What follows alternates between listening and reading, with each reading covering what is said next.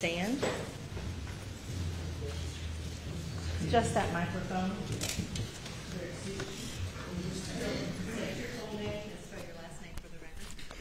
John Marvin Murdaugh, M U R D A U G H. Mr. Murdaugh, will you tell the jury just briefly um, some background information? Where are you from? Uh, what do you do?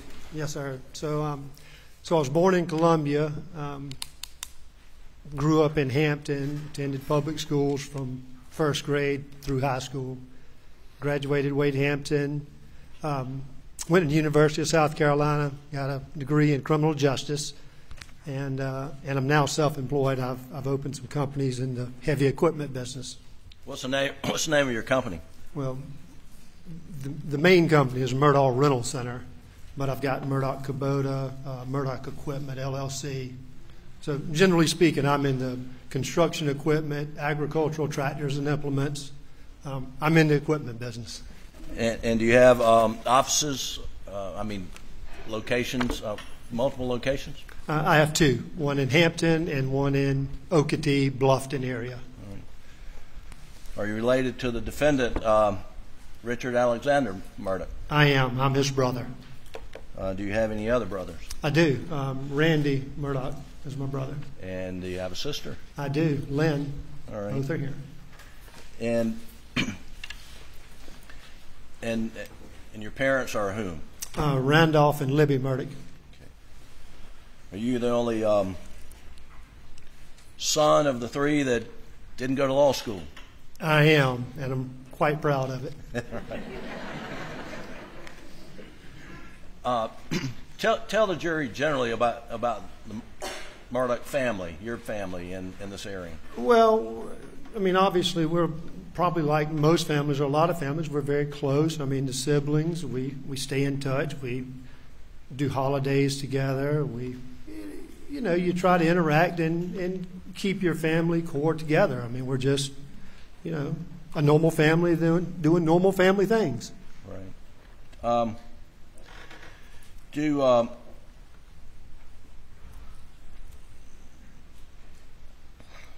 your parents, and we, we've heard about your father, Randolph Murdaugh, who died on, on June the 10th, is that correct? That's correct. And then your mother's Miss Libby, She is. and, and she's still alive, correct? She is. In fact, yesterday was her birthday. And you went by to see her, I I did Um, with my kids. The um, in the in the spring uh, 2021, uh, were they both alive? Um, was your dad alive? Uh, yes, sir. And and what was his health in the spring of 2021? Well, for, for some, he had been battling cancer, uh, and not just cancer. I'll use that term loosely. He had multiple forms of cancer, um, but he had been battling cancer, had health issues. He had been through heart surgeries. Just overall, his health was not good. Um, you know, just in and out of hospitals, just, just Right. age and, and the diseases were, were catching up to him. And um, and would would you check in on your mom and dad any chance you've got? I I would, I would. So I I didn't tell you all this, but so I don't live in Hampton. I live, my wife and family and I, we live down in Beaufort or just outside of Beaufort. And so my drive is about an hour's drive to, to do it. So I didn't visit as often as Randy and, and, and Alec because they were in Hampton. But absolutely, um, anytime I, I had the opportunity to work in Hampton at my office, I would always take time to stop by. Um, and then sometimes I would just, you know, just wanted to go see my mom. The um, and was it was it routine for one? So your, either your brothers who lived in Hampton um, to stop by and check on them routinely? Oh, absolutely. I, I, in fact, I, I, you know, I don't know every time they went because I wasn't there, but but I feel confident that they visited more just because of the proximity. It's just an easier, it's just an easier visit. So well, let's let's talk about proximity. Um, your brother Randy, where does he live? He lives in Hampton, in town. And then your sister Lynn, where does she live? She lives in Summerville. Okay. And then Alec, where, where did he live in the Um, spring of 2021? Well, I think in the spring of 21, he was living in Moselle. I think all of them were. Okay. And, is Moselle close to Almeda? Where- Well, it's further than Randy's house, but much closer than mine. Right. And, and is that, and your mother's house, I'm saying Almeda, but is Almeda a town or? what No, is no, Almeda's correct. That's the, that's the, the location. That's the property name, if you will, the intersection name. I think that's a general.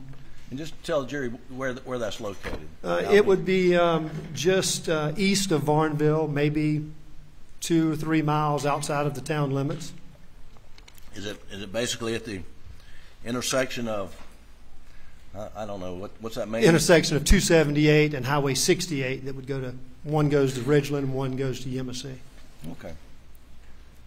And, um, and would Alec visit your mom and dad frequently in the spring of 2021, to your knowledge? Oh, absolutely. And we'll get to more of that. Um, how well, I want to talk about Paul. How well did you know Paul? I knew Paul very well. Um, excuse me, I'm gonna have a hard time talking about Paul because we had a very special relationship. But I knew him very well, and I'll, I'll do my best to, to answer any questions about him. Well, did he have a nickname? Um, he did. They, they called him Little Rooster. And um, did they call him anything else? Well, I mean, he'd been called Little Rooster, had been called, as you heard, Paw Paw. I mean, that's what my family, my kids called him. What, what did you call him? Well, it depends on where we were and, and what we were doing.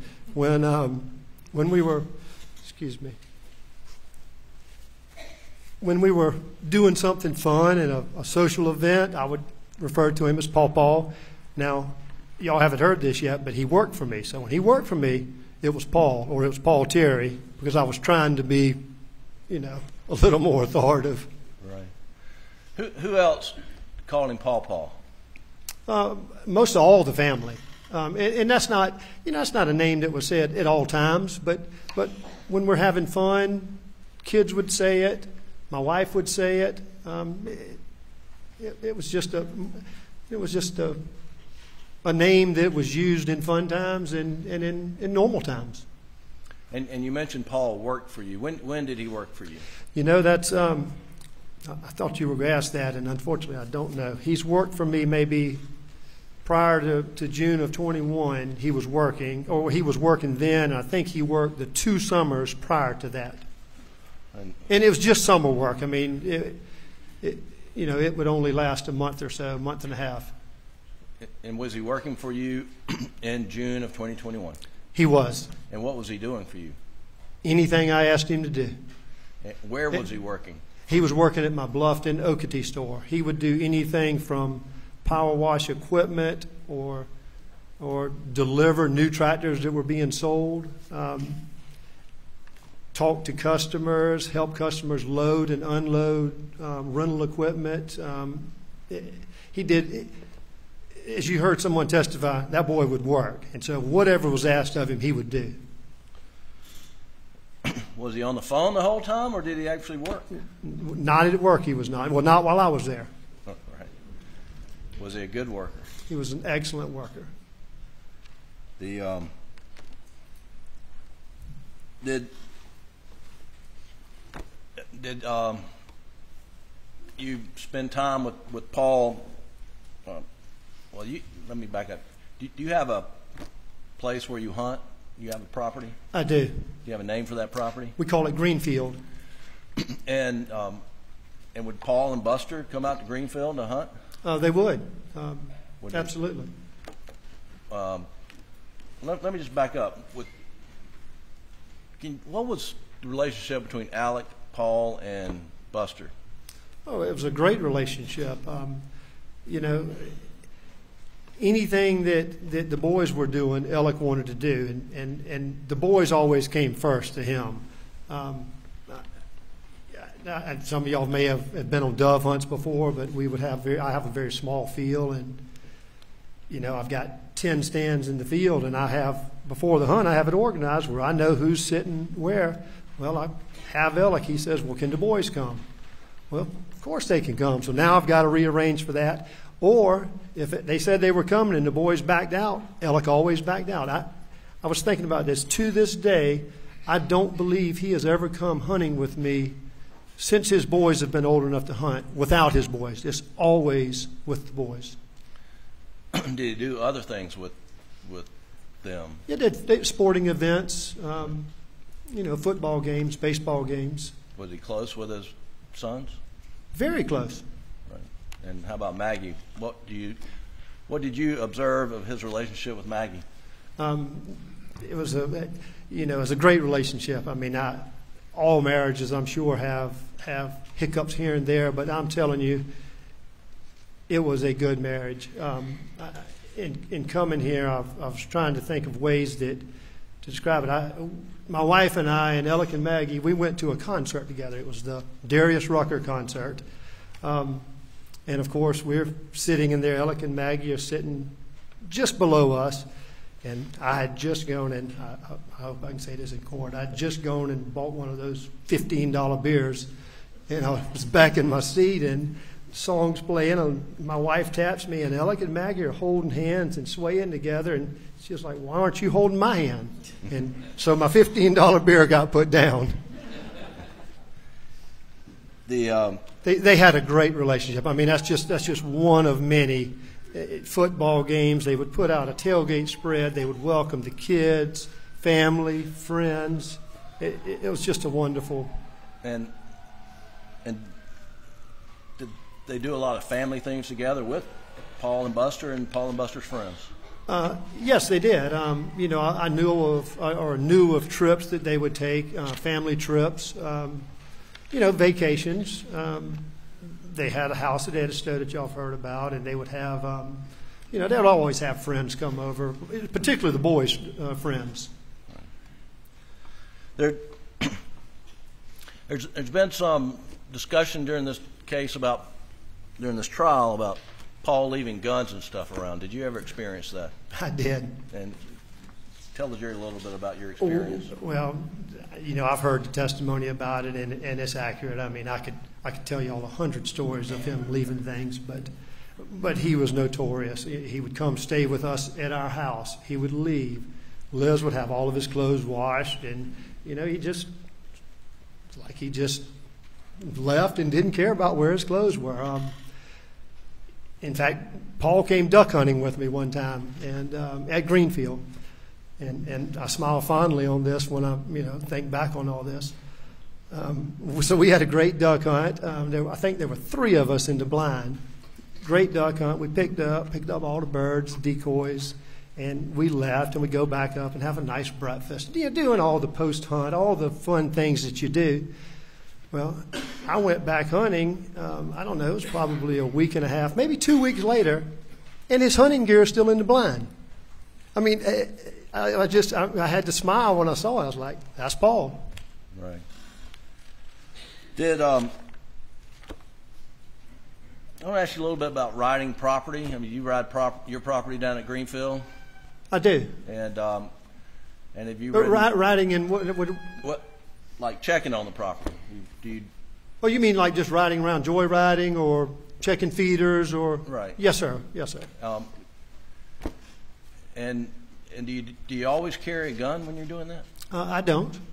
And have you ridden property like at your dad's place with your dad and and maybe Alec or others? I mean, is that Right. a Well- frequent occurrence? I would say almost never when I rode the property with my dad. Um, it- Al- almost never carry a gun. Ne- almost never would we carry a gun. We would just joyride. Now, if you know, if it were late in the afternoon and we were considering maybe getting in a deer stand, you know, at the last minute, possibly. But typically, with my dad and us, we didn't carry a gun then. Right.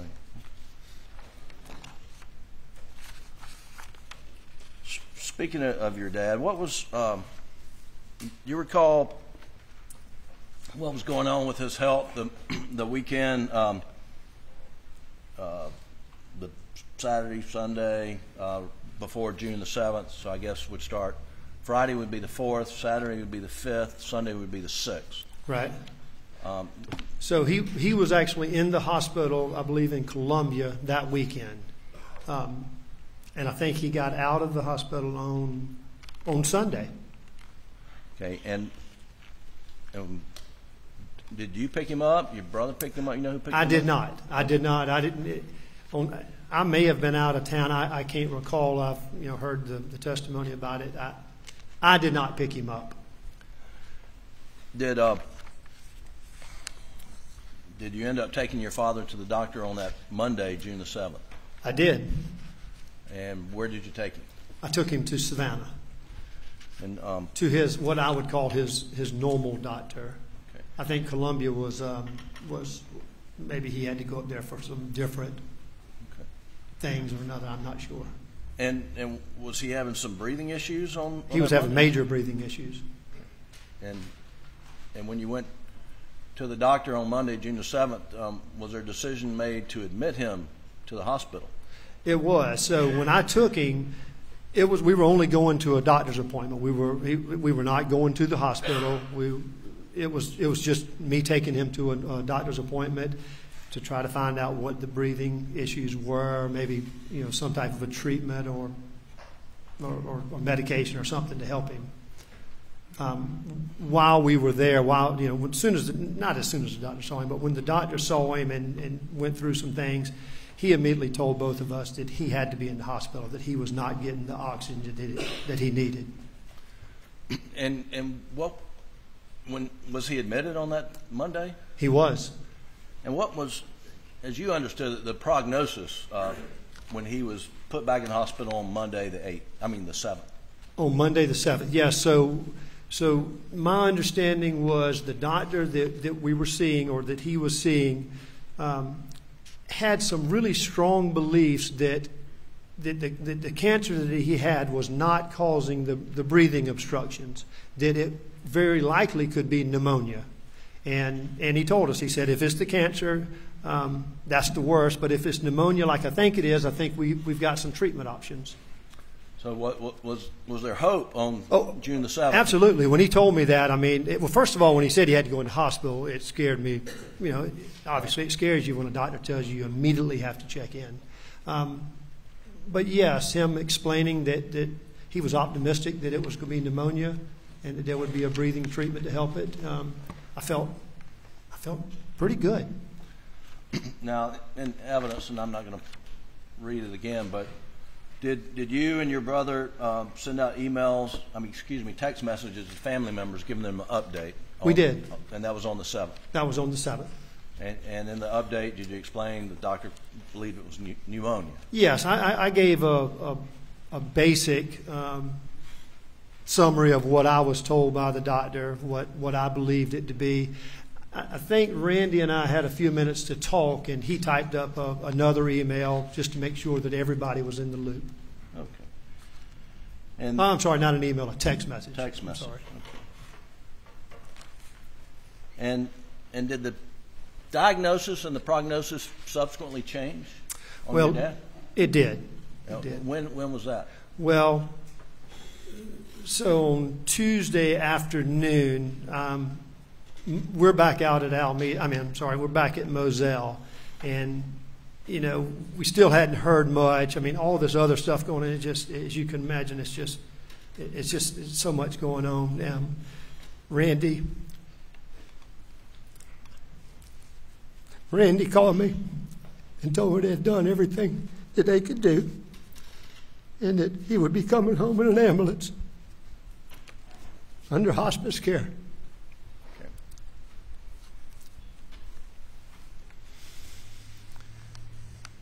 And did he die on June the tenth? He died, I think, two days later. There's take your time. That's all right. That's all right.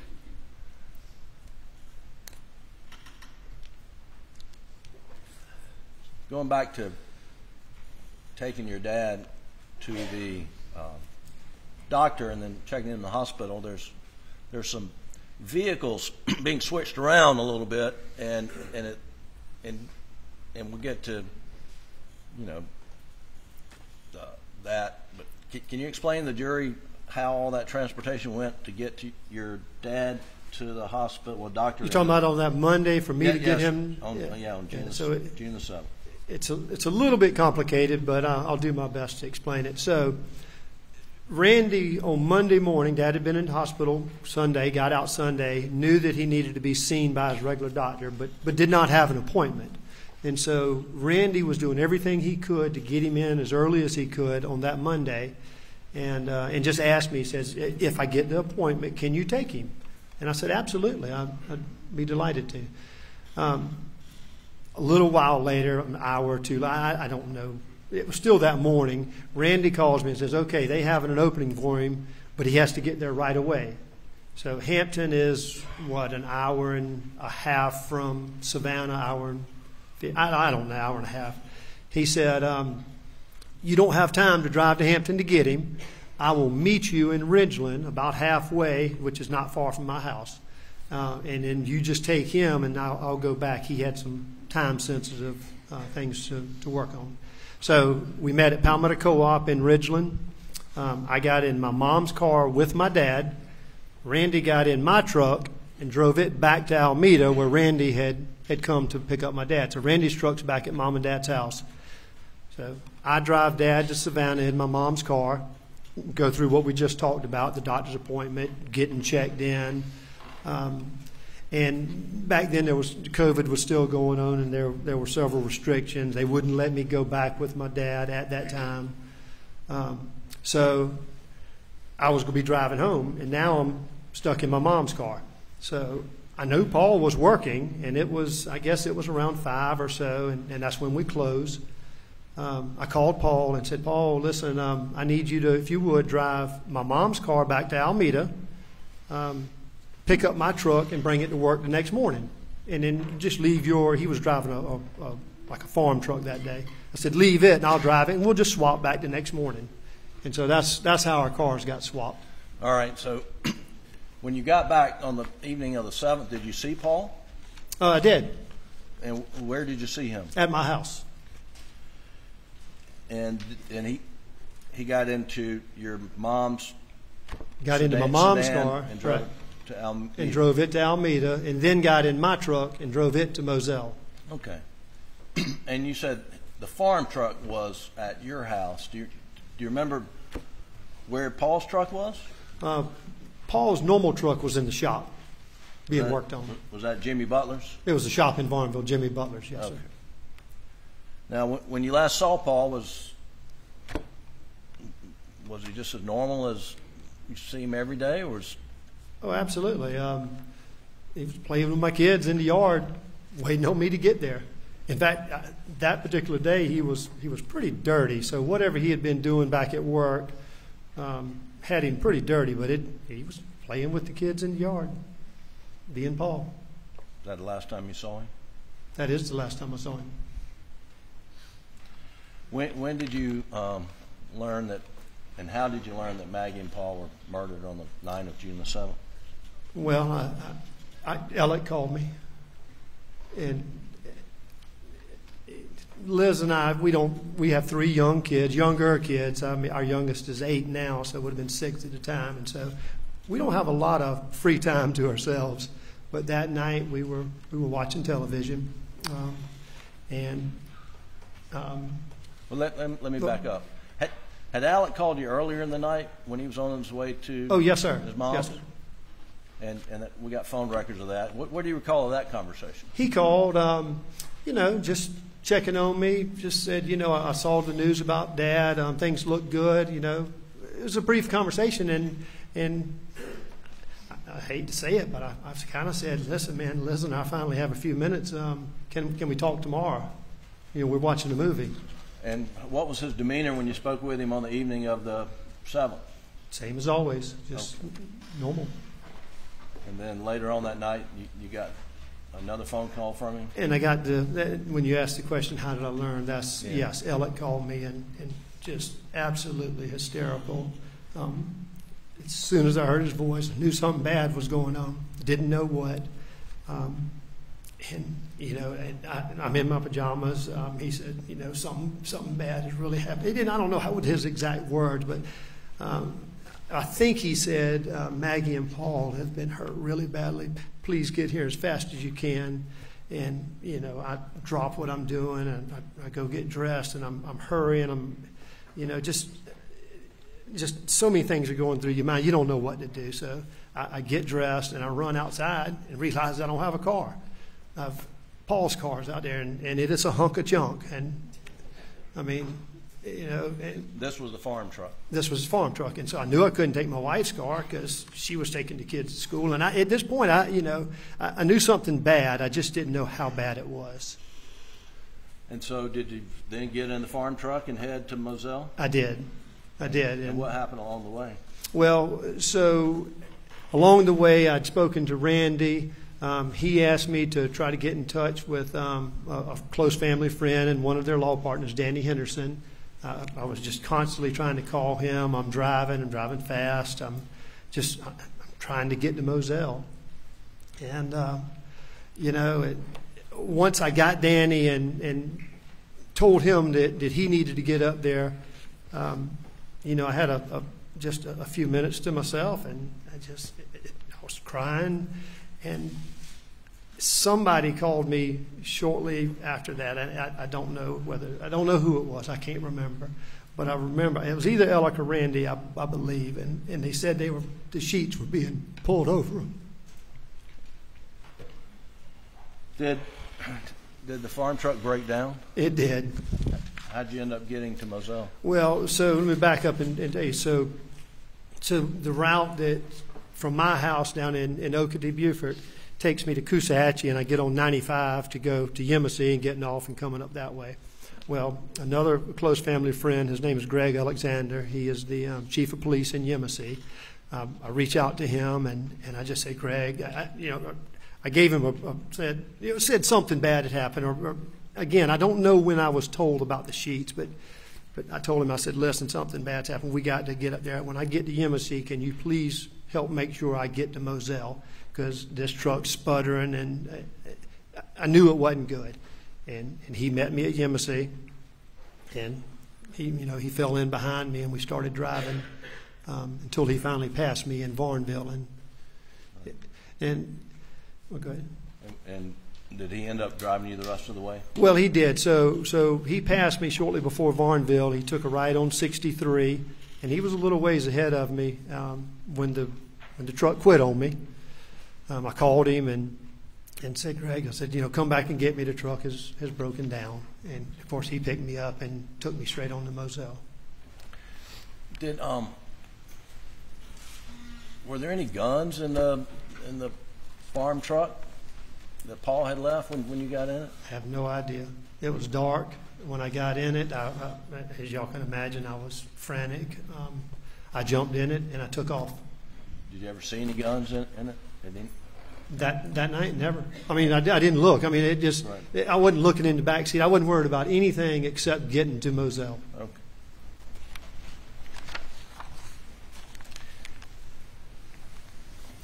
Do you remember um, about the time you you got to Moselle? what what time was it roughly? Or better yet, who was there when you got there? Well, there were there were. I mean, well before I got to Moselle, or we got to Moselle, you could see the lights flashing. It was just there, there were tons of people. It, mostly, what I would describe is is first responders of some sort. And, and when you pulled up, where did you go? Um, so we came in the main gate and came around, and um, and they had created a, I guess, a, a small crime scene. And when we pulled up, I, I saw Alec, and I, I think before Greg even stopped the car, I jumped out and ran to him. And what was his condition, Alex? Oh, he was, he was just broken. I mean, distraught. I mean, everybody was. There were a few other people there, but but he just all we did is hugged and cried. I mean, we didn't. I don't even know that we talked. How long? Um, how long did you stay down adjacent to the crime scene? Do you recall? Quite some time. Um, I, you know, I have to assume that I probably was there at the eleven o'clock ish. I, I I don't know what time I got there, but I don't think we went back up to the house. Um, you know, until well, well after midnight, maybe two, three. And and when you went to the house, um, do you recall if any SLED agents came up there? Well, I did not see any. Um, I heard some testimony, of some came and got some clothes, but I did not see any SLED agents at the house. The last, the last officer that I remember seeing that night, um, or officers, were the ones that told us that we needed to leave that area, that they were going to be doing stuff with the bodies, and that we needed to go to the house. Right. Um, when you went into the house, uh, were there other people in there when, when you got in? There were. You know, m- most people that I knew, you, some of Alec's partners, Randy's partners, um, family members, Lynn. Um, Was there food out or, or had food? What, what was it? Had anything? well, well, I, I didn't see any food, but I saw pots and pans, and uh, and I saw folks that were that were cleaning up. They were removing pots and pans, but you know, I never opened it and looked in it, so I presumed that it was food. Um, they cleaned dishes. They put the pots and pans away or in the refrigerator. Was, was a TV on in the house? Do you, do you remember? Uh, you know, I, based on what I know, I would say it is, but I can't. Uh, I can't tell you 100 percent that it was on. But I would. I'd be willing to bet it was. What do you mean when you say based on what you know? Well, it, I've never. I don't think I'd ever been in that house without the TV being on if Alec and Maggie were there.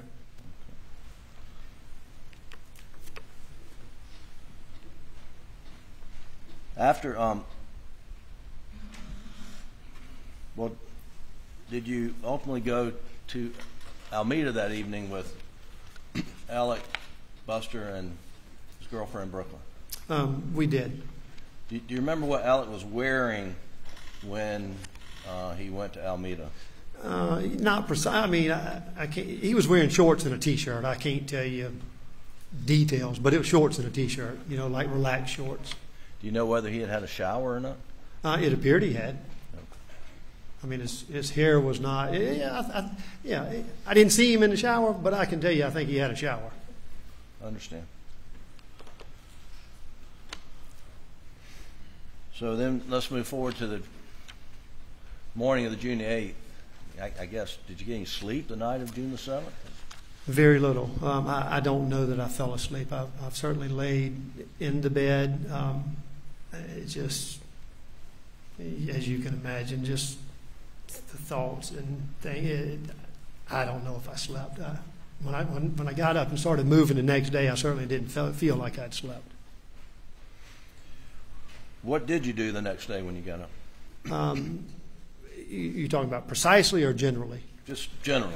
Um, I got up and um, Alec was up. I don't think Buster and Brooklyn were. I told Alec that I was going over to Greenfield, my farm that I told you all about, is two or three miles away, so it's very close. And I, I have all you know, clo- plenty of clothes over there. So I told him I was going over there to shower and put on fresh clothes, and that I would meet him at Moselle. And did you go to Moselle? I did after I left Greenfield. Yes, sir. And do you remember who was there when you got to Moselle? I was the first one there. And what'd you do? I just went to stay there until I I knew Buster, Brooklyn, and Alec were coming. Um, I suspected that other family members and partners, I, I, I knew others were coming, so I just kind of sat there, just you know, in, just in disbelief. Still, it's just you know, moments of, of just Was, was the door to the house unlocked? Do you remember? you know that that's a good question. Um, I thought about it. I don't remember. Right. Um, it, it either was unlocked or or I had the code because there's a keypad on a on a side door, but I can't tell you which door I went in. I I, I don't know. The, uh, did you eventually go down to the kennels? Um, I did. I did. Um, you know, once everyone got there, there was just there was you know a fair amount of activity in the house with family and, and law partners, um, Alec's law partners, Randy's law partners. Um, you know, I I just felt like I needed to go down. I needed to see for myself what what had gone on and just you know just kind of take it in. I mean, just maybe for some type of understanding. How long did you stay down, down there at the kennels? Well, I, I can't. I, I don't know. Um, but I will say this: before I went, I was I was unsure whether I was allowed to go because I, I knew it was a crime scene, and so I reached out to a um, a friend of mine in law enforcement, and uh, and said, "Listen, I don't I don't know who's handling the crime scene. I don't know whatever." He said, "Well, I'll find out, and and make sure that it's clear for you to go." And he said, and he said, "Don't go until." You know, until I tell you. And he called me back a, you know, a few minutes later and said he had spoken to um, I believe it was uh, Captain Ryan Neal, and had given the, the okay that everything was released and it was okay to, to go there. And, and was it cleaned up? Um, no, Jim, it was not cleaned up. Were there skull fragments? Yeah, so, you know, so, so, excuse me, oh, this is going to be really difficult. So I, I- could easily see where Maggie had been. You know, I saw the night before where the sheets were, but, and somebody had told me that who was who, and so I could see where Maggie had been, and it was grass, and, you know, they had covered it up with dirt, so there really was nothing to see where Maggie was. Um, I walked over to the feed room, and y'all have heard the descriptions. Y'all saw it. I've never seen pictures, and I've told them before coming to this court that I was not going to see pictures. But y'all can imagine what I experienced. It had not been cleaned up. I saw blood. I saw brains. I saw pieces of skull. And when I say brains, it, it could just be tissue. I, I don't know what I was seeing. It was just, it was terrible. Um, and for some reason, I thought it was my something that, that I needed to do for Paul to clean it up. I felt like it was the right thing to do. I felt like I owed him, and I started cleaning. And I can promise you, no mother or father or aunt or uncle should ever have to see and do what I did that day. I don't know. I, I'm not blaming anybody, but it's just. It, I was just overwhelmed. I, I did everything I could, and I, I would have moments where I would, I would, I would stop crying for a moment, um, and just, just you know, just in disbelief. Um, at one point, I called my brother Randy, and, and told him what I was doing, trying to describe what I was doing, and he immediately told me to stop doing it. It, it, it was not good for me. It was not healthy for me to be there. And I, couldn't stop. I just, I had to do it for Paul. That's just what I had to do. Um, and I don't know, it's probably 15, 20 minutes later. Mark Ball shows up. Y'all heard Mark Ball testify. And he came and hugged me and told me it was okay to leave. Okay to leave. What was left of Paul, they would clean it up. It's the hardest thing I've ever been through in my life. Yes, sir. What'd you do next? Um, you know, Mark um, basically got me. Yeah, I'm, I'm sure I, was- I, I'm sure I was just a basket case, but he got me back to the house and you know got me back around family and you know just got back to you know the support of others that were there and and you know there were a lot of people at the house at that point. Do you remember um, when you got back to the house, at some point in time, people uh, raising questions or bringing up the fact that Maggie's phone had not been located?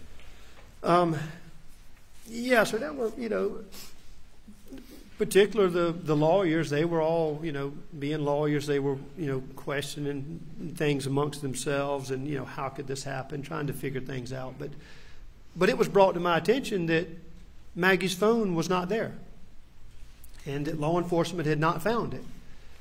And, and I, I can't say that, in fact, I can probably say that I didn't think of it because I'm not a phone, big phone user or big app user or whatnot. But somebody brought to my attention says, listen, if Buster or Alec, if they have an app on their phone, like Find My, find my Phone or Find My Friends or an app like that, they said you very likely can find out where the phone is if the battery's not dead. And so I, I went to Buster, and um, sure enough, he, I said, Buster, do you have this one of these apps like they're talking about? And he said, Yeah, sure I do. I said, Well, open it up. He opened it up, and he handed me the phone, and I see Maggie's name, and I press it you know to activate it, and it pings Maggie's phone just out front of the property. And I was like, I, I, I hate to say it, but I said, Holy shit, there it is. And I said, Buster, I'm taking your phone. I'm gonna go back down to the to the shed and show it to law enforcement.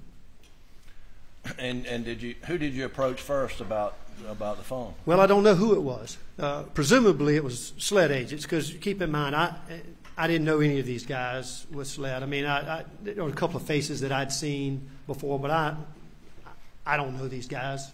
Um, I've come to know them, but I don't know them or didn't know them then. So I went up to the to a SLED agent and or two SLED agents and said, presumably SLED agents, and said, "Hey, I've got Buster's phone here, and it, it's got an app on it that can find the phone, and it's showing Maggie's phone's right out here. Let's um, y'all want to let's go get it." And he said, "No need. We have technology coming later today that we should be able to find it." And it just it blew me away that I'm sitting here showing them where Maggie's phone is, but they won't take the time to walk with me or take this phone itself. I mean, I'd give them the phone to go find it. So I walk over. I knew Duffy Stone. He was the solicitor. I knew uh, one of his investigators. I walked over to them, said the exact same thing, and they immediately said, "Absolutely, let's let's go find this thing before the battery goes dead." And, and what happened? That we did that. Um, and Well, we started, actually, we started walking down the, the, the back entrance or the kennel entrance, if you will. And as we were, and at that time, the, the agent was holding the phone, you know, I'm looking at it with him. And the, when it pings, it creates a dot or, or, or a location. And that dot jumped from right at the end of that road down the road, I don't know, maybe a half a mile, three quarters of a mile. Um, and so we walked back, got into a car, and drove down to where it was it was showing the phone. And was the phone? And I rode I rode with those agents, the the solicitor's office agents. Was the phone ultimately located on the side of the Oh, road? absolutely. We found it in a matter of minutes. Okay. Do, you- do you remember how it was collected? I mean, were you present when it was collected? I was. Um, so I was on. The, there's a cow pasture on one side and it's wooded on the other side, and I was on the side that, that the cow pasture's on, if you will. And I heard him say, "I got it," and so you know, of course, I walked back beside his car, and I, you know, I'm good ways from it, but I see him over there, and I think he, he took either some ribbon or some some flagging or flagging tape, and and marked the phone. And I don't think he touched it. I think he, he left it right where it was, called SLED, and maybe at that time, maybe they- they had been communicating, but SLED had, had blocked off the road at this point, and one of the agents came up and picked the phone up. Okay. And I, and I don't know which agent. Again, I didn't know him. Did did any law enforcement officer ask you if you knew the password? Yes, so, so once they, uh, and, and I'll say this, so they did take pictures of it while it was uh, on the ground before they touched it. Um, um, they picked it up. I think they had gloves on. They picked it up, brought it back to the um, to the trunk of the car, and opened it up in power zone. And they then asked, you know, what's the password? And of course, I didn't know it. Did you find out the password? I did. I called Alec, and he gave me the password. I repeated it to, to the agent. They put the password in and said, is open. So Alec provided you the password that you passed to the agents, and it opened the phone. Is that Yes, correct? sir. That's correct.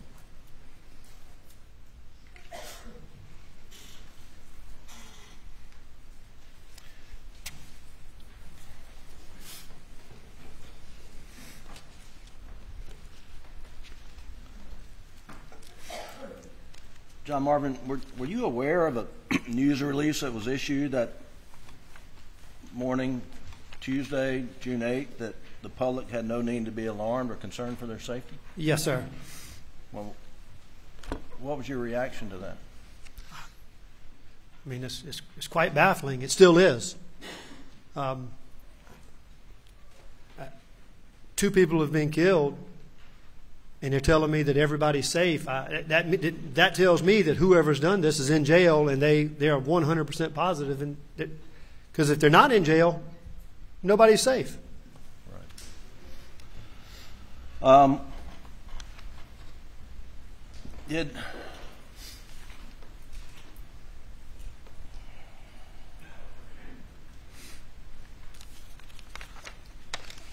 did you did you go back to, to the residence at, at Moselle um, after finding the phone? Did you go back up to the house? Uh, yes, sir, I did. And and did SLED agents come through and search it while you were present? Um, they did. Um, I don't know how long I'd been back up there, but um, uh, they came and and we kind of talked in the uh, playroom, or I think some have described it as the gun room. Um, yeah, they talked about that they needed to come in the house and and search for things. And, and did you um, escort? I think it was Agent McAllister throughout the house. Yes, it was um, uh, Katie McAllister. And and did she tell you what she was looking for? Initially, she says, uh, well, the way she presented it was, you know, there were so many people in the house. She said, listen, I, I don't want to just go barging in and make everybody run out of the house, but, but I'm going to take my badge off, my gun off, and if you would, just walk me through each room. And, you know, particularly I'm looking for 12 gauge shotgun guns um, and 300 blackout and the ammunition for those calibers. And and as you're walking through the house with her, it appeared she was looking for other things besides just guns. Well, yeah, I mean, I, she, I mean, you could tell she's looking because she looked in spaces that guns wouldn't fit, so it makes sense that she could be looking for something else. Such as what? Well, I don't know. I mean, well, I, I, understand, but you said spaces. Did she look in the well? I mean, like, bathrooms like, I, and like I opened up a uh, up in the upstairs area. There's some there's some cabinets that you know, a couple of them are pretty small. That you know, she could find ammunition in there, but I don't know how you would get a gun in there. did she search bathrooms? Uh, she did. Well, I, I, took her through every room in the house. Right. I mean, every single room. Did you observe her looking in sinks and toilets and? You know, so yes, sir. It, it, what I observed is like the shower, for example. It's, you know, it's a, it's a door. It's not an open shower. She opened the door and she looked around and you know, she was looking at. She easily would have known there was no gun in it when she opened it, but it was obvious that she was looking a, a little deeper. Right. What kind of guns were there at Moselle?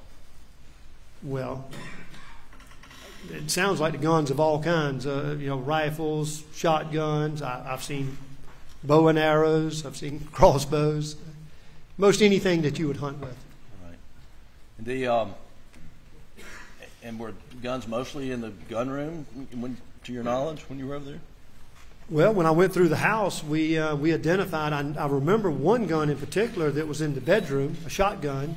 Um, I picked it up and said, "You need to take this one." And we looked at it, and it was a 20 gauge. And she said, "No, put that one back." So I put it back. So predominantly, all the guns were in the, the gun room or or playroom. Right.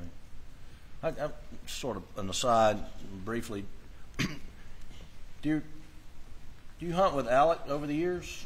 Uh, I have. And uh, did he have a go-to gun, to your knowledge, that he would use? Not to my knowledge. I. When's the last time you ever seen him hunt with a 12 gauge?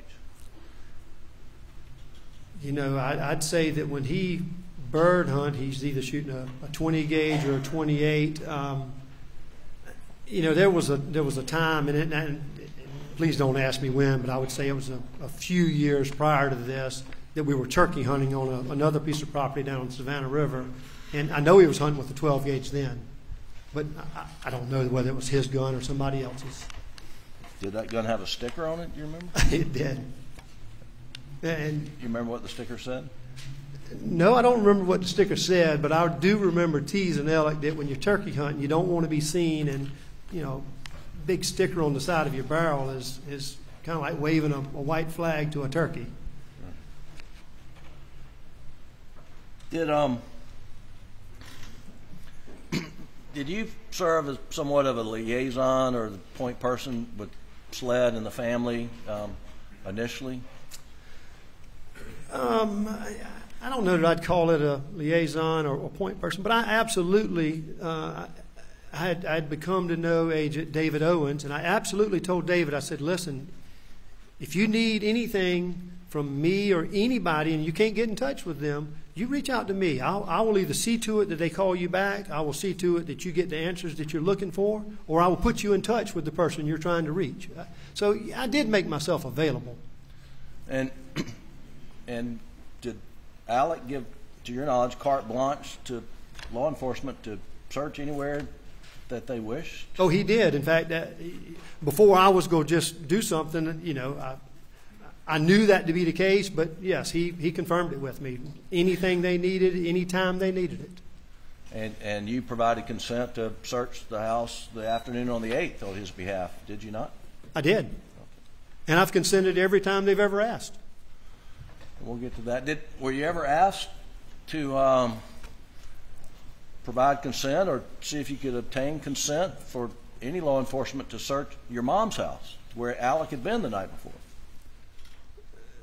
Say that to me one more Did, time. did any law enforcement ask you to consent or obtain consent so that law enforcement could search Almeda, um, and I'm talking about on the 8th, um, because Alec had just been there the night before? Did, Right. did anybody ask you, hey, can we go search Almeda? No one asked anything. Okay. Would, if asked, would you have obtained consent for law enforcement? I would have, uh, I would have given them consent, and I would have taken them over there just like I did at Alec's house, and I would have helped uh, facilitate the search to show them areas that they may not know about.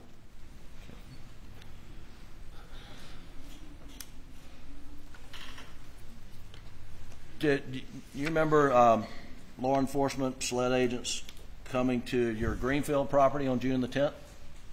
Uh, yes, sir, I do. And and what was that about?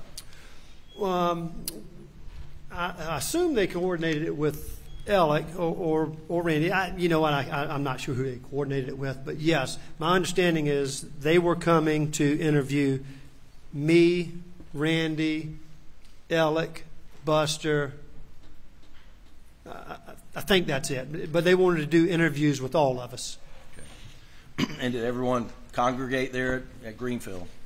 Yes, sir. Uh, we well, we were at Greenfield. Um, of course, you know that's we're staying there because of all this, and so it, it keeps me close to Hampton. So, but yes, we all congregated there. And when the um, agents arrived, did they come inside and sit down and talk talk with each other of you, or how did that work? No, sir. I offered them. I offered them to come inside. It was, as you can imagine, it was hot. Um, I said, "Come in," and you know, offered them a drink of water, wh- you know, whatever, just being polite. And they said, "No, you know, we we would like to go ahead and start our our interviews And where where did the interviews take place? in their cars." And were they all done it simultaneously? Yes, sir. And how many SLED agent cars were out there? Do you remember? Well, there was one for each person they were interviewing, and, and I would go ahead and guess that there were probably two or three more. Okay. And um, I, am not sure that we need to actually play this, but have you been in the courtroom and you've heard this audio tape of Alec being interviewed on on on that um, June the 10th, uh, where he is states something either I did him so bad or they did him so bad. Have you heard that? I have. Uh, and you know Alec's voice. I know his voice very well. And what is he saying on that tape? Crystal clear, they did him so bad. I mean, And had you heard him say that before uh, his interview that day? you know, uh, I think I heard him say it um, either the night of or the day after, but I've also heard him say it many times after. Well before this trial started or anything? Well before any of this, that's right. Uh, When he was when when he was staying and, and living with us, or between my brother and, and us. After um, after Maggie and Paul were murdered on that night of, of June seventh, was were you or other family members with Alec for the most part? You know, for the that week and the week after that? You talking about the days following? Yes, sir. Yes, sir. I, I was. I, I made a, a conscious effort to to be with him. I mean, I, as devastating as it was for me, it was a thousand times worse for him. So I, I knew as a brother I needed to be there for him, and I was. I, you know, of course, I didn't sleep with him, but Right. but when we were awake, we, you know, I, he was. You know, I may not be standing beside him, but I, we would be in the room together. Or if we needed to go to the gas station, if he wanted dip, I, you know, I'd ride with him. It just, I just knew that's. I just thought that's what I needed to do. What was, what was his demeanor that was in the immediate aftermath of these murders? Oh, Jimmy, uh, that night or days or That night, the next day, the day after? like I just said, he is when, you can use words that he was destroyed. I heard somebody say he was broken. You can use any word you want to use to describe, but I can promise you, words don't do it justice. I would have to create a new word to, to describe how distraught he was. I, And, it's and did- terrible. And to carry it forward all through the summer, did, did he, how was he coping afterwards, say, later June and July and going forward? You know, summer? it's hard to tell. Um, I, I thought he, at times, I thought he was doing okay. Um, other times, it, it would just be just sheer grief. I mean, just uncontrollably crying and just, you know, of course, it makes me cry. As y'all can tell, I'm, I'm a pretty emotional guy, but we would just, we would, we would cry together. I'm just, and there's no answers. It's just, and there's nothing I could say to make it better other than just hugging.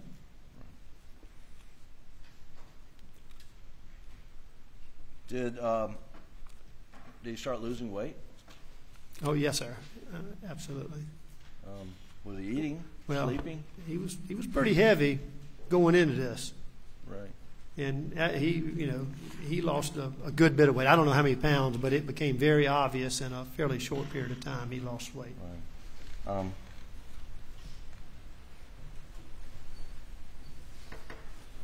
it's, uh, I skipped over something in my outline, and I apologize, but, but going back on the evening of June 7th, early morning hours, did, um, did, did folks who were there at Almeda uh, raise questions about perhaps the murder? Maggie and Paul were somehow associated with the You mean boating? in Moselle? Yeah, the Moselle. Um, going back to on the evening of June 7th and June 8th, did folks at Moselle um, raise issues or associate the potential motive for the murder to be related to the boating accident in some form? Well, I heard it. I heard it numerous times that that night. I heard it at Moselle, and I actually heard it by, well, Greg Chief Alexander um, uh, mentioned it. You know, once once I got over the, the chaotic part of describing what we were doing, why I needed to get to Moselle, he asked me on. You know, he's driving in front of me, and uh, he asked me, "Do you think it's related to the boat accident?" And of course, I, Greg, I don't know. I don't know anything about what's happened. Well, you, you were aware of the boating accident and Paul's charges? Yes, sir. Weren't you aware? And, and was there a backlash in the community over that? What- Well, it was. It was. It was a lot of backlash. Um, I, I would not say quite as much in the community, but as on social media and and media inflamed rumors is what the way I would describe it. Right. That it just it, it, it was just totally blown blown out of proportion, and, and, and I don't want to downplay the accident, but what they were saying about the the stuff about Paul and and Alec, it, it, it's just it was just totally inflamed.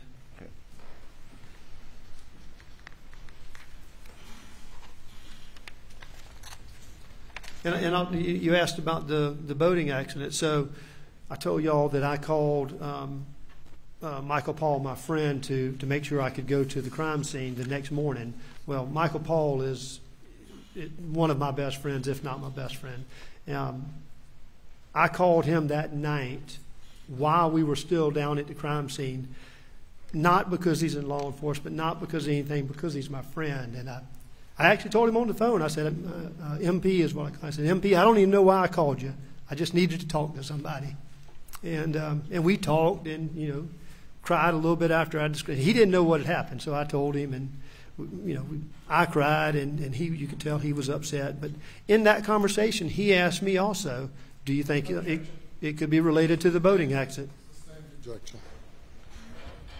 Um,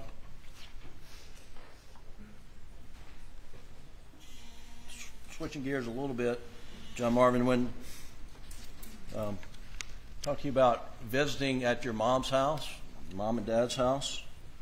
Um, There's, um, let's talk, where, where do you routinely park, or where do you park sometimes, um, when going over to your, to your mom and dad's house? Me, you asking where I park? you and, and, and others, you know, in the family. Well, it- there's it's a couple of places you can park, depending on who's there, um, whether there's other cars there. You know, you can either park at, at the, what you call the carport, and there's a big dirt area beside it. Um, you can park there, walk up to the side door, or you can pull around to the to the back corner, park there. Um, y- you know, it's it, it, we we all use both spots. I'm going to pull up and, and look at it on your screen. As a matter of fact, I told you it's my mom's birthday. I went there yesterday. I pulled right into the back of the house, but I didn't turn around. I circled the house. So there's, there's so I'm going to pull up States Exhibit 524. It's in evidence, Doug, and, and go to slide 38. And this is um, the the uh, GPS OnStar data. And if and Doug, if you'll blow up around the house, please, sir. Thank you. Um, Mr. Murdaugh, this is your mom's house, and this is GPS data uh, from um, the night of June the 7th. Do you see that, the, the red line there? yeah, it's pretty blurry on my screen. I don't know about y'all's. Well, you want, you want to back it out a little bit, Doug? All right, just. Is that better? Well, yes, it's still blurry, but I can see. Where is that in relation to your mom's house? You're talking about the um, right there where the arrow's pointing. Yes, sir. That is uh, at the back corner of the house. Okay. That, that would be exactly where I parked yesterday. All right. And if, and if you'll pull up, Doug, Exhibit 136.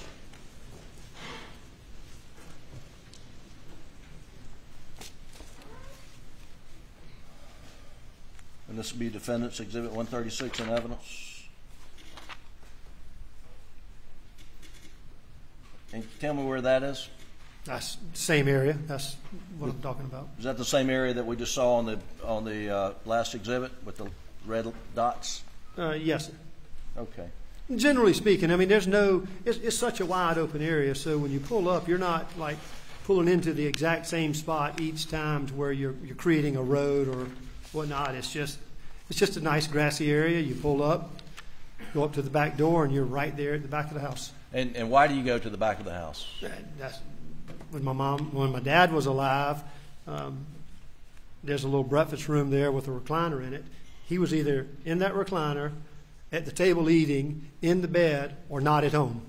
I mean, that literally was his. Right. So, so Doug, if you'll pull up defendants 135. So everything's at the back of the house. I Right. mean, it's just they don't use this. It's a large home, and they just don't.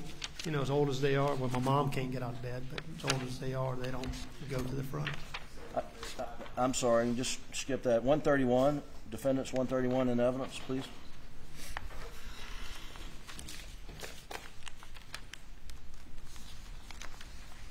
Again, is this a- sort of the same area, photographed from a different direction? Yes, sir.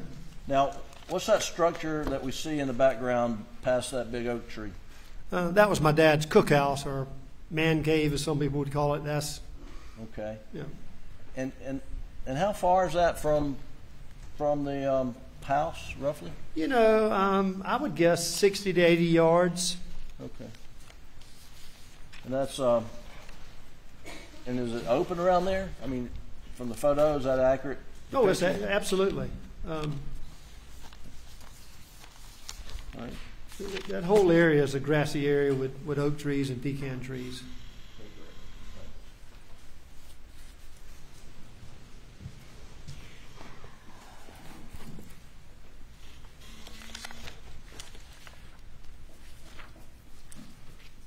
So Marvin, I want to go to Labor Day weekend of 2021. Um, Where, where were you that weekend? Do you remember? Labor Day weekend 21. Um, When Alec went to the hospital? okay, yeah, oh, yes, yes. So, um, so I had been out west um, fishing, and I came in on Saturday night. And did, um, did you, prior to Labor Day weekend 2021, were, were you aware as to whether or not Alec had a opioid addiction? No, sir. Did uh, you transport Alec, drive Alec from the hospital in Savannah to a detox facility in Atlanta on that that weekend, or Well, I believe it would have been on that Monday. Um, I was not driving. Uh, Randy and I took him. Randy was driving, and I was in the back. But yes, sir, we did take him to a detox facility. and and where was the facility located? Uh, it, just outside of Atlanta. Okay. And what was? Can you describe for the jury Alex, Alec's condition, like physical condition in the car? Yes, sir. So when I met Randy over in Savannah, he had Alec, and, and I got in the car, or, or Randy's truck with him. Um, I'd never seen anything like it. I've, I've seen television shows of, of talking about the leg twitching and, and the squirminess, if you will. And, and that's the first thing I. I mean, you could just tell he was sweating. He was, he was thrashing about. Um, you know, Jim, it, Did he turn I don't know how much detail you want me to go into. What did he turn around in the seat of the car? and What was he doing? Yeah, so so maybe halfway there, um, at one point, he had taken his seatbelt off and he had his head down where your fanny would be in the seat and is trying to stretch his legs and just kind of steady, just like thrashing them and kicking them. Um, it- it's just, again, I, I- I've seen TV, but I've never seen something like this in real life. And was he able to control himself? Um, No, sir. Um. I said about detail. So he he messed himself. He he had diarrhea. He just couldn't control it.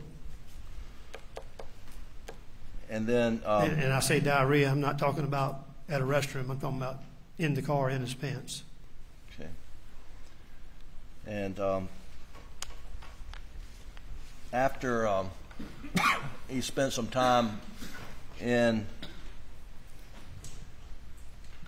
the facility in Atlanta, did, did you and your brother go pick him up and take him to another facility in Orlando, Florida? Yes, sir. We did. Do you, do you remember that? Um, yes, sir. I did. On the, on the drive to Orlando, do you remember anything happened that stands out to you? You know, so that drive, um, he was he was much different. He was he was more subdued. He was not. It was not the thrashiness, not the twitching, not the the jerkiness, if you will. I, I don't know the, the words that, that you would use for that, but that's what I'm saying. The the only thing that really stood out for me is he was he slept a lot of the time, but but he woke up from from sleeping and when he woke up, I mean, he jerked forward, and you could just tell that. I mean, it was it was sheer terror. It, it just he just woke up out of a out of a horrible horrible dream, and I believe it was him dreaming about what what he found with Paul and Maggie. Keep going a little further, uh, Mr. Murdaugh. And sometime in September, did SLED actually come and search the house at Almeda? Yes, sir. And were you present? I was. Okay, and um, and you and did were you informed as to what items were seized during that search? I was informed of one item that was received, uh, seized. And what item was that? Um, it was described as a, a coat. What kind of coat? Well, they didn't tell me what kind of coat. Okay, and um, and did they tell you where the coat was found? Yes, sir. So, um, so I, I would assume that the, the searching of the house, all that was winding down. Um, so, Agent David Owens and I I believe Randy was outside near us, but he may have been talking to somebody else. I'm not sure. May have been talking to another agent. I, I'm not sure. But, but David Owens, um, or Agent Owens, came up to me and said, um, We found a coat back on the property. Do you know anything about it? And I said, Well, David, I said, if you found it back on the property, I said, my, you know, it's a large piece of property, you know, some 400 something acres. I said, my dad rides this Kubota side by side. It's, it's probably his. And um, I said, and if you show it to me, I, I, I can try to identify it. And of course, he, he said he couldn't show it to him or wouldn't show it to me. I'm not sure what, what it was. Were you sometime later asked to view a photo of a blue raincoat? I was. Well, I was asked to view um, a raincoat and listen to an audio tape. Of the kennel? Yes, sir. Okay. On the, the blue raincoat, um, were you informed where it was seized from? Well, I knew where it was seized from because he had already told me. But, uh, but I was, it, it, this instance, I was told that they wanted us to, or when I say us, they asked Randy, Lynn, and I to go view the coat and the tape.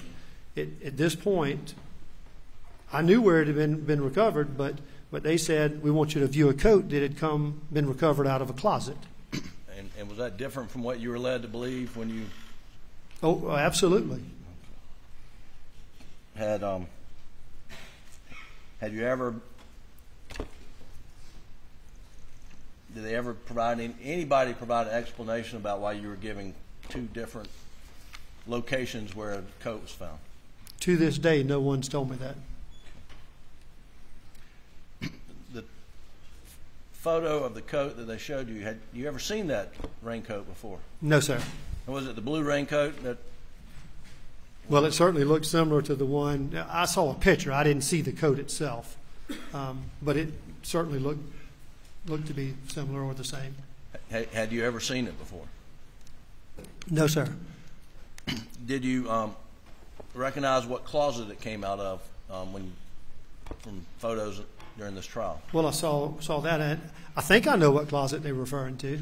Well, They- There's let- only let me- two, let me ask you, I'm the- sorry. The closet as you go up on the, the first flight of stairs before you go at the landing, right there, it's, what, what's kept there? Clothing, not everyday clothing, clothing that's more or less in storage, um, I- junk. Um, I- Right. You know, it's, it's not a cl- it's not a cl- first of all, my dad wouldn't climb stairs even if he could, but he couldn't. Right. The, um, there's, there's some testimony that there's GSR on, on that raincoat. Um, Got any idea how there could be GSR on clothing in your dad's closet at Almeda? No, I, Dane? Did, um, your dad carry guns around with him? No, not like not in the sense that you're saying. He, so he was not like Paul that always had guns with him. Um, you know, he would he would keep a gun if he went dove hunting, for example, and he went on one dove hunt. That gun may ride with him for two months. He just would stay. He just would. Same with golf clubs. If he went back when he would play golf, he just During, a bunch of junk in his truck. during hunting season, was there normally a gun in the back seat? During truck? hunting season, I, I would say that there usually would be. And, and did he In have, fact, it, it, it, during hunting season, because he always hunt, he always loved to go on a bird hunt. and did, did he have a, uh, a specific gun that he used frequently? Oh, he had one gun. And was, did that gun have a name? It did. It was called Bo Whoop. And, uh, and did he clean it often? I, I've never seen him clean it. He he got that gun in 19, I believe, in 1957 for his high school graduation, and he used it for every game that he chased. But I'm sure it got cleaned somewhere along the way, but I'd never seen him clean it, and I still haven't seen him clean it. Got it. Um, I don't know how the thing still works.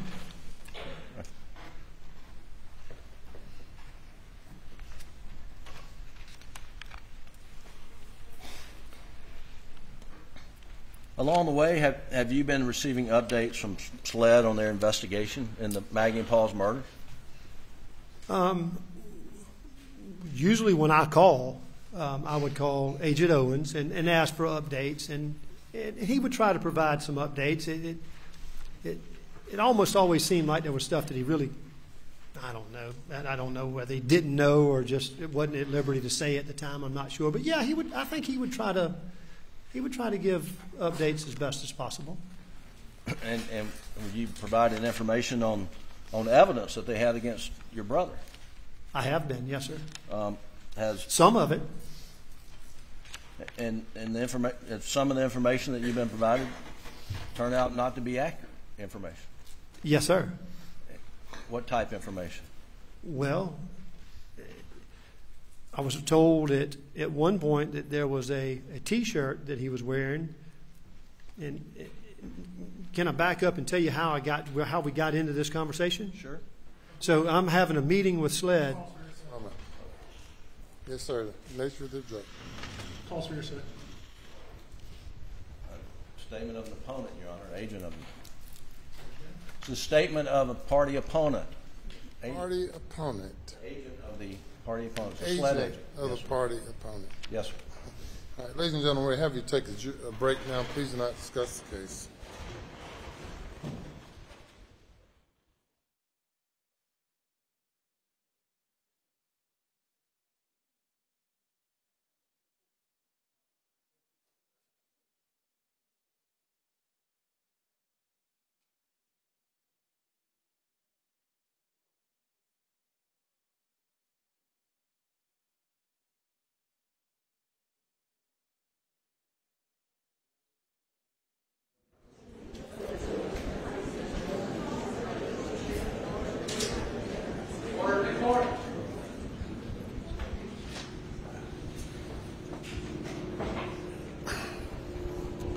All right, everybody be seated.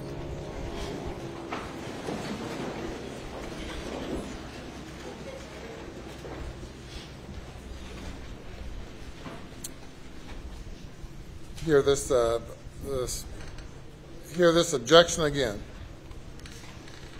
Stays objecting, calls for hearsay. All right, In your response to the, um, Mr. um, Yes, Your Honor. Well, I- I mean, your- here- Just a moment, sir. Oh, I'm sorry. Mr. Conrad's response to Mr. Griffin. Your Honor, I think his uh, argument was it's a state, it's an admission by a party opponent. Um, And I don't think we're talking about, Party opponent, party opponent. right, in the subsection 80 801D2, I think is what we're referencing. uh, And it talks about admission by a party opponent.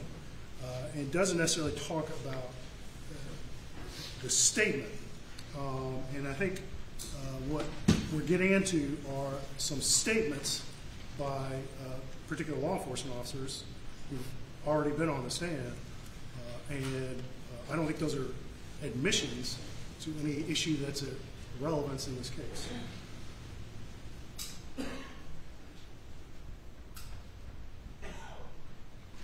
Mr. Griffin? Your Honor, they're directly relevant. The statements relate to evidence that they've told the family they have against Mr. Murdaugh. Directly relevant? Yes, sir. Right, So the objection not based on relevance. Well, I, I thought that's what, so a statement of a party opponent is non-hearsay under the definition of hearsay. Um, Your Honor, it's, I- don't have the rule in front of me, but under, State, the, the state of South Carolina is a party opponent in Yes. this case? and, and SLED is the investigative agency? Yes, sir. It, it, if, otherwise the rule would not apply in a criminal case. I mean, that's, I mean, it has to be the investigative agency. I'm not asking for Colleton County statements or, it's, it's the, No, you've gotten those in already, the newspaper statements, uh, Colleton County's call to the newspaper or whatever. yes, sir. What else, Mr. um, Conrad? I'd also object for the relevance as well, uh, because uh, the state has not offered the- shirt and evidence, uh, and um, the the defense is attempting to kind of backdoor here, and it simply doesn't go to any issue, anything that's issued in this He's trial. already testified to the shirt Well, to the shirt, but he's, we're, he's trying to get evidence, uh, and maybe we need to proffer it to see exactly what he would say, but my, assumption was that he was gonna start talking about a report by Mr. Bevel, uh, which we've talked about several times in this case. Uh, and I'd object to the relevance, uh, and to, particularly with Mr. Murdaugh bringing it up. All right. Well, uh, tell me again what you're asking the witness, Ye- or yes, proffer it to the witness. Yes. y- Yes, um, Yes. so, Mis- Mr. Murdaugh, what, what information were you provided by, by, was it a SLED agent that provided you the information? Yes. You were asking him about Agent Owens. Still, he's a sled agent. Yes. And, and what, what information were you provided that, that, leading up to this, that, that turns out to be inaccurate? right, and, and it was okay for me to speak for you? Yes, sir. Yes, sir. So, so what I was asking, I, I was saying, I wanted to back up to get to where I was, where I was getting this information. So I'd been called to SLED, um, not headquarters, but their office in Walterboro to view the, the Blue Coat and to listen to an audio. After my interview with them, um, Captain Ryan Neal, I I believe we were in his office, is the one that and I'm going to use my terminology here, but, but describe the white T-shirt covered in blood, even went so far as to describe that, that Alec took the bottom of it and wiped his face with it, and that that's how they knew he, he was involved. That's how they knew he was there. And, and I don't know, I don't know where the question goes after Can I that. your question, or are you trying to dig more out of him? That's it? All right, and what's your objection? I'd renew my objection to the relevance. Uh, Nothing has been put, this, uh, this jury hasn't heard any evidence about any blood being on this T-shirt, um, and the state has not offered any reports to suggest as such. The objection is overruled. It's going to take 10 minutes. Thank you. Give him- step down.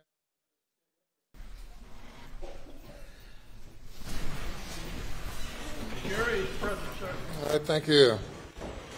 The objection is overruled.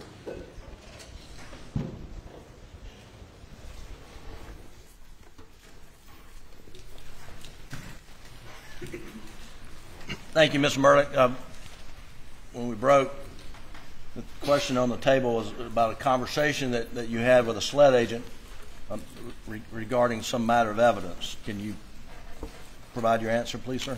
Uh, Yes, so, um, as I was about to say, what, what led me to this conversation was is SLED um, asked uh, my brother, my sister, and I to come over to identify or attempt to identify a coat and uh, a recording. Um, And we did that, and so I, I did my interview with them, and then after the interview, we went into um, Captain Ryan Neal's, I think he's captain, but, but, but Agent Ryan Neal's office at this, at the same sled office. And in that office, or in that, uh, in his office, uh, we were all in there. Um, they made reference to a, a, the shirt that they said Alec was wearing. They told us that it was covered in blood. They went so far as to, to tell me on the on the police body cam that he takes his shirt and wipes his face, and that's how they knew that Alec was at the scene, that, that he was the one. John Marvin, um, just finishing up, what was Alec's relationship with Maggie and Paul's parents?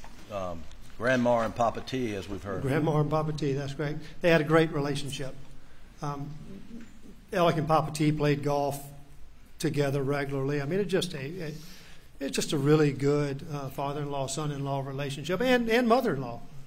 And have you, um, They would travel together, you know, vacation together with different places. and, and have you stayed in contact with them as best you could? Yes, sir. Okay. Oh, We communicate.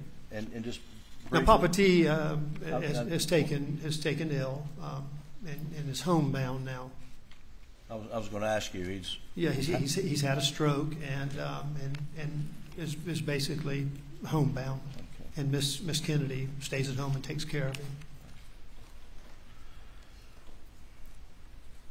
But, but they are wonderful people. Let me just go a little bit further. At wonderful people um, in and of themselves, but their relationship was, was absolutely great. Jamar, I, I want to go back to that morning of June the 8th when you were um, down at the kennel cleaning up. Do you remember um, making a promise that morning? Well, Jim, as as I've, I've told y'all that y'all know what I saw, y'all know what I was doing. It was it was it was difficult. It, it, it was it was nearly impossible. Um, I, you know, in my mind and out loud, I told Paul I loved him. I told him, I don't know, I just I, I loved him, and and I promised him that I'd find out who did this to him. It's just, it's, you, you, you just don't know what to do, but. It was just, it was tough. And you promised him you would find out who did this to him. Yes, sir, I did. Have you found out? I have not. All right. Thank you, Your Honor. That's all the questions I have. All right. Good afternoon, Mr. Mur- Murdaugh. Good afternoon. Uh, I think you'd agree with me that no matter which way you cut it, your family suffered a great tragedy, hasn't it? Oh, absolutely. And uh, Including the death of my dad and the, the sickness of my mom. I mean, it's just, it's tough. And I'm, I'm sorry you've been, you and your family's been through this. Well, thank you. All right. And I think you testified a little while ago about the cooperation you and particularly your brother provided SLED. Is that correct? Did I, did I provide cooperation with SLED? Yes. Absolutely. And you, to your knowledge, I have and, and, and will continue to. And to your knowledge, uh, your brother was providing cooperation to SLED as well, correct? I believe every, everyone in my family was, yes, sir. Okay. All right. Uh, and would you consider that cooperation full cooperation? Not only for yourself, but your brother as well, from what you have observed? I mean, to me, full cooperation, yeah. I mean, it's, it's wide open. You, you tell us what you need from me, and, and I'll, I'll provide it. And I told him I would provide it. And from what you've observed, your brother was, was providing the same full cooperation as well, correct? Yeah, so I believe, um, I believe anytime that they ask to, to search something, anytime they ask to, to do something, they ask for information, um, it typically came to me, and yes, I would, I would provide it. Okay, I'm- I'm asking about your brother right now. I understand you have. But to your knowledge, did your brother provide full cooperation? Or did he tell you he was providing full cooperation? Well, he didn't tell me, but, Okay. But it, it appeared to be obvious that by him giving them access to anything they asked for, that, that he was Okay. So when did you first learn that your brother was down at the kennels just before the murders? Two days ago with the rest of us? No, no. Um, you know, I, so obviously I went into for an interview with SLED, the one I told you about, where we, we talked about the shirt, talked about the blood, all that. That was that was the reason for me being there was to hear that audio, and I saw the kennel, and of course at that point I heard his voice, and I knew I knew that was him. Okay. Uh, you knew that was him when you saw that video, correct? That's correct. Or listened to the video. When I listened to it, All right. And do you recall the date of that uh, interview when you first listened to that video? I do not. All right. Would Would you disagree with me if I said it was August 12th of 2022? I, I have no way to agree or disagree. I, least during the month of August of 2022? Uh, again, I, it, I'm sure they have my interview recorded for that date, but All right. Um, before August of 2022, at that interview, when you heard your brother's voice at the kennels, uh, had he ever told you that he was down there just prior to the murders? no, sir. Did he ever tell you that afterwards, after you listened to that video? Uh, no, sir. And I, I'm trying to think if we've if we've been able to have an opportunity to even speak. Okay. Okay. All right. So you would agree that if he had not told SLED that, that was not full cooperation, correct? If he had not told SLED that he was at the kennels just before the murders, he had not actually been fully cooperative. What, what's your question? Would you agree that that is not full cooperation? By him not telling SLED that he was at the kennel, Correct. I would say that, that yes, he lied. Okay. All right, so I don't want to go through the whole kind of vehicle shell game that we talked about earlier. It's confusing, probably to me most of all, but let's, let's just focus on, uh, so Paul's, what was Paul's normal daily driver? What vehicle did he dro- nor- drive on a daily basis? On a normal basis, he drove a white F-150 um, Platinum. Okay, And let me confuse you a little bit more, as I drive the identical truck. okay, all right. Uh, So you testified that that Paul's F-150 Platinum was at Jimmy Butler's over the weekend, correct? It was being worked on at Jimmy Butler's, that's correct. And then Monday, there's a series of car swaps. I don't want to go through them, but at the end of the day, uh, you end up in the F-250 farm truck, correct? That's correct. And Paul ends up in your F-150 Platinum. Ultimately, he does. He drives a mom's car back to Almeda and gets I know there's truck. several swaps Yes, there. sir, that's, that's correct. I'm just kind of talking at the end of the day. Um, And he drove your F-150 back to uh, Al- Moselle, excuse me, that night, correct? To Moselle, yes, sir. Uh, And uh, you testified that you came over uh, later that night after Alex had called you about the murders, correct? That's correct. Where was your truck parked when you first got there? And we'll talk about how you got there in a minute, but where was Paul's truck? Well, so first of all, that night. Your truck, I'm sorry. That's right. I, I know what you're saying. So, so when I got there, we didn't go anywhere near the house. I went straight to where everything was happening. Okay. Um, as we went to the house later that night, I saw my truck. So it's probably four in the morning, whatever time we were, three or four in the morning. It was parked in front of the house, normally where you would park Okay, cars. So just kind of out, straight out the front door? That's correct. And uh, the keys that Paul had been using, do you recall were they left in the truck or, or have any recollection of where those keys might have ended up? Well, they were sitting in the ignition. I mean, Okay. same place I always leave them Okay, because I drove it to Almeda that night. all right. Um, And meanwhile, you were in that F-250 farm truck, right? For a short period of time. Uh, And that, re- refresh my memory, was that, is that white as well, or is It's, that a different? it's white as well, yes, sir. Uh, And it, it's broke down on you on the way to Moselle, that, and, correct? That is correct, on And you Highway left- 63. All right. And you left it on the side of the road, correct? I did. Okay. And I think, did you call uh, Chief Alexander at that point, or? Well, we, we were riding, you know, we were driving separate cars, but together. Okay. And so at that point, he had gotten in front of me, and I had to call him to tell him to turn around. Okay. And he came back and picked you up? Came back, and I jumped in his And car. You or left the truck truck? or whatever. It was Suburban. I'm sorry, I'm trying not to talk over you, my apologies. Uh, And you left the F-250 there on the side of the road? I did. Okay. All right. And rode with Chief Alexander to the property? That's correct. Um, Were you aware that uh, uh, your brother Alex had loaned Chief Alexander money at several points over the past couple of years? I was not. All right. And you testified that uh, you learned of your brother's opioid addiction uh, the weekend of uh, Labor Day of 2021. Is that correct? Well, that's when it started coming out, yes, sir. Okay. So did you have any idea that he had a, a, a opioid or drug problem prior to that? Prior to that, I did not. Okay. So from your uh, observations of him on a daily basis, he seemed to be sober uh, at, at most times, or, or not under the influence of any.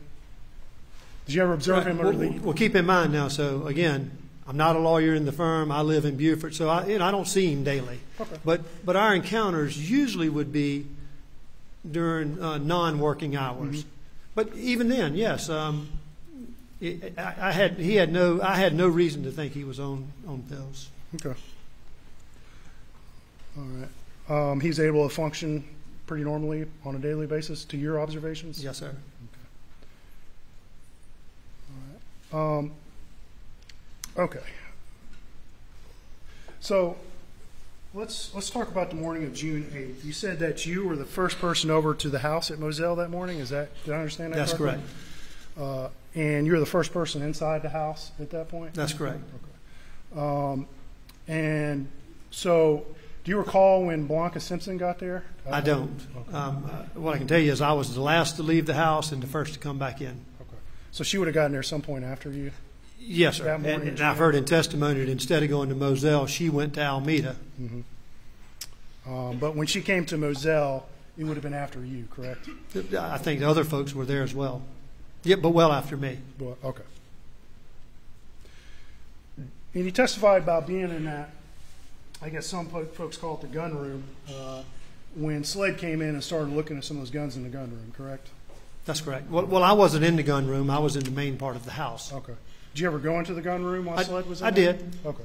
Um, because I think there's a video and evidence, and we're not going to go dig it up, but uh, of uh, SLED with camera, body camera footage, and I think you do appear a bit. I think so. I think probably what uh, best recollection I have is I was in the main part of the house with Alec and, and family, and someone came and told me they were there and that they wanted to look around. Okay. And of course, I went to make sure that they had full access.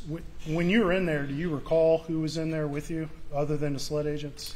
Because there were several other people, correct? Well, I- I don't recall if you, without seeing the video, I saw the video, I saw Mark Ball, I saw Lee Cope, um, I saw the, the Agent McAllister, but, but I, I don't think I would have remembered that. Okay, but there are several attorneys in there, though, at a minimum, correct? Friends and attorneys, friends, yeah, that's right. Okay. Uh, was Chris Wilson in there at that time? Do You know. I don't, I, I- I don't remember. Okay. I, I, I don't have any recollection of him being there. Okay. Um, all right, and then you, let's go to June tenth when SLED came over to, I believe it was Greenfield where they came. That's correct. to interview. It was, it was you, Buster, uh, Randy, Alex.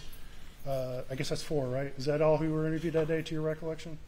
Um, Randy, me, Alec, and Buster, that's correct. Okay. Uh, I think you testified that they didn't want to come inside. Is that what you testified to? Well, I, I don't think they didn't not want to come inside because of any particular reason. I just think they wanted to get about their business. So you don't recall? Uh, I, I offered for them. I offered to come in, use the restroom, anything of that nature, drink water, anything like that. But they you don't they recall, did not. You don't recall Lieutenant Gint coming in and introduce himself? Inside the lodge, I do not. Okay. All right. Um, and you've you've either been interviewed or sat in several interviews by SLED over the last few years. Have correct? I've been in a, a few, yes, sir. Um, and I'm going to direct your attention to uh, October 12th of 2010. Let me make sure I have that date correct. Or excuse me, not 2010. That would have been 2021. Uh, and I believe SLED came to your house that day. Do you recall that? I do recall SLED coming to my house. Okay. Now, Um, I, I can't tell you that's the date, but they, This- certainly came. this would have been the day that they interviewed both Buster and your wife uh, that day. You, you, does that help you out? It, it does. I, re- I remember them coming. It Okay. was um, uh, Jeff Agent Croft and um, and I believe um, Agent Ryan Kelly. Okay. Um, and uh, you sat into both those interviews, correct? With both Buster and, and your wife? Well, I think the, the interview with with one was an interview for Buster, Okay. and one was an interview with, with me and my wife. Okay. All right. So you, you Is the way I, that's the way I thought it was. Okay. I didn't think it was three interviews. All right. And you recall during that uh, October 12th interview the subject of this blue jacket coming up with, with Buster? Specifically, I'm talking about the one with Buster. The conversation at my house, Yes. I do not recall it coming up. You, so you don't recall uh, SLED bringing up, uh, asking Buster about a blue jacket on October 12th of 2020? I do not recall that. So you don't recall uh, his response? I, I don't recall him bringing up a jacket. Okay. Uh, Do you recall Buster responding that he did not recognize the blue jacket that was presented to him? I don't recall a blue jacket being discussed. Okay. And I think you also looked at it, and you don't, you don't recall, They did not show me a blue jacket. There, there was no blue jacket discussion in that interview, to my knowledge. okay. Um. One big court's the-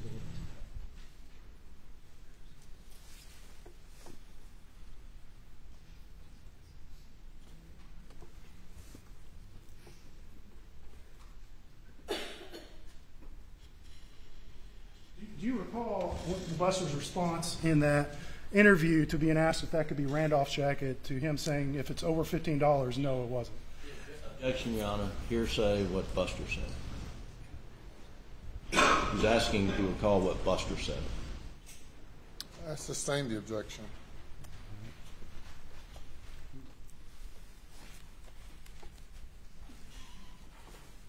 And then you agreed with what Buster said right afterwards. You don't recall that? No, Mr. Conrad, what I'm telling you is I don't recall any discussions of a blue jacket in, in that interview. I, just don't recall that. I don't, so you asking me that, I'm just telling you, I don't know of any discussions about a jacket in that interview. Okay. All right. Um, you testified about driving up to rehab, um, I think that Monday after Labor Day, or excuse me, uh, detox, correct? With It was brother. detox, that's correct. Um, and you said your brother kind of woke up startling as if from a dream. Is that what you testified to? No, sir. Okay. I said that when I was driving, well, Randy and I were driving him from detox mm-hmm. to the rehab facility down, and that was down in Orlando, Florida, Okay. is when that happened. All right. And you said, and, and again, I want to make, make this as clear as we can. You said you thought that he was waking up in response to a dream about the night of June 7th. Is that, did I That- understand that correctly? That is the way I, I, that's what it appeared to be to me. And that's, of course, I can't tell you what he was dreaming, but that's certainly what it appeared to me. So you're not saying that because he said that, right? Uh, he, that's right. He, he didn't wake up and say that. It's just, it was a, just such a startling, um, just the way he woke up out of his sleep. It was just so startling. It was fear. It just, and it, and it took him several seconds to, to realize that whatever he just, he, he just saw was not real or, or was not, he was not living it. Okay. Um, you testified about um, the day of June 7th and the uh, taking your dad to the to the hospital, him getting admitted, correct? I did. And that you were you and your brother Andy were sending out multiple group texts about your dad's status. Is that correct? Well, I sent a text, and I believe Randy sent one as well, Okay. Uh, and along with phone calls. Um, I know Randy and I discussed it on the phone as well. And if I understood your testimony correctly, and uh, you said that uh, June 7th was actually kind of a hopeful day. Is that uh, based off of what the doctors were saying? Well, yes, based on the all the bad news that he's been receiving, it it, it, it was one little piece of, of hope that, you know, certainly if the doctor would have said at that point, you know, you're going home on hospice tomorrow, it would have been that, that would be the worst case. But him saying that there was hope that it was pneumonia and not the cancer, that there was some breathing treatments that may help, it, it gave us some hope. And you sent out at least one group text with this information, correct, to, to your family members, right? I know I sent one. I, I could have sent another, but I know there was one. Okay. Uh, and do you recall if your brother was included in that? Alex, uh, specifically, was included? You in know. I, I saw the, the, the record showing it, and so yes, um, I, I believe it was my family, and, and I think it was just our family, actually. And so uh, there was hope, at least on the afternoon June 7th, that your dad who had pneumonia, which could potentially be treated, and uh, there was a little bit of hope about that, correct? Yes, sir. Okay. Uh, so if your brother uh, had told Janine Seckinger uh, during that day that your dad was taking a major turn to the worse, that would not be truthful, correct? That would be correct. And the testimony I heard is he didn't say that. He didn't say what? He didn't say it was terminal or dire or whatever, What? whatever you're saying. Are you based off of Alex's testimony? Uh, yes, sir. Okay. So if Janine So, Seckinger, well, I can tell you this: if somebody said that day that it was terminal, one of two people was wrong, or both. okay. All right. So if Janine Seckinger was told that, If Jeannie Seckinger just said that, she was wrong. well, were you present for any conversations between your brother and Janine Seckinger on June 7th? I wasn't.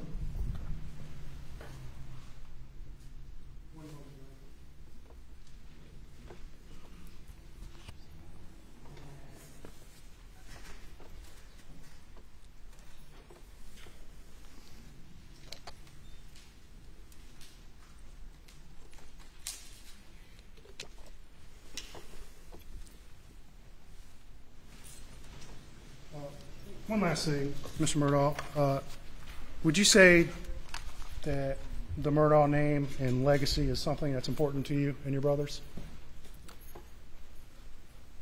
Yes, I think any family's name and legacy is important to them. Do I think my family's name is more important than Yours or any of y'all's? No, I don't. Okay. But it's important to your brother as well, correct? I think he would feel the exact same way as what I just said, that, that all families are important. Okay. No problem. No. Any redirect? No, Your Honor. Thank you. You may step down.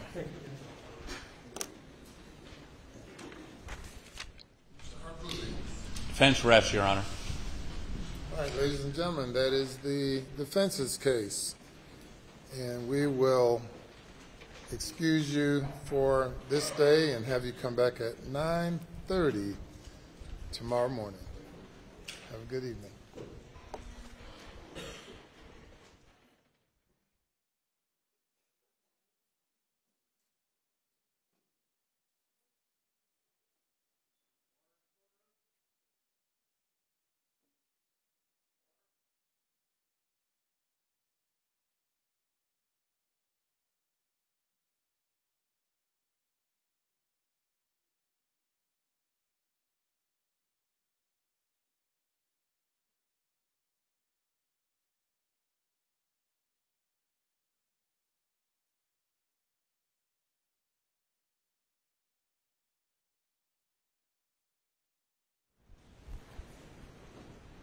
If everyone will be seated.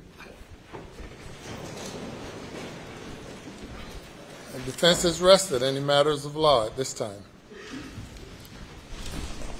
Your Honor, we would, uh, defense would just renew our motion for directed verdict on the grounds previously argued at the close of the state's case. That's all. Uh, Mr. Waters. Uh, Your Honor, again, we would rely on our arguments previously made uh, that the motion should be denied. Be happy to answer any specific issues Your Honor may have, but I would rely on our previous arguments. All right, The motion is denied based on all the reasons stated at the close of the state's case. Now, with regard to reply, what what do you have, Mr. Waters? Uh, Yes, sir, we have uh, maybe four witnesses, maybe five at this point in time. I'm uh, hopeful that we could accomplish that in a day. Uh, Obviously, uh, as is the nature of reply, um, we will, you know, assess that tonight. But uh, right now, I have uh, four definite witnesses and perhaps a fifth that, as it stands right now, that we would have. I don't think many of them, except for one, would be very lengthy.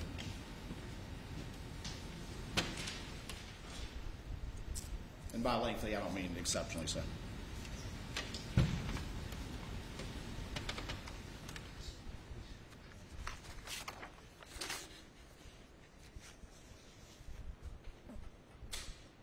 Any comment, Mr.